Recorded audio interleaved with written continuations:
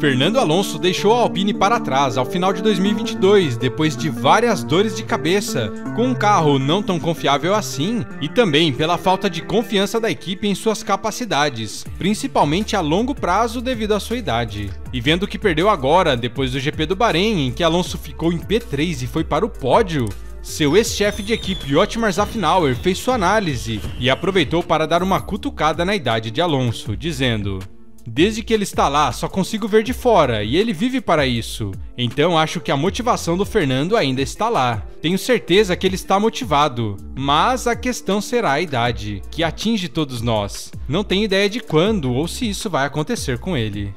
Então, já que Otmar não sabe ao certo, me diz você, acha que a idade irá prejudicar Fernando Alonso?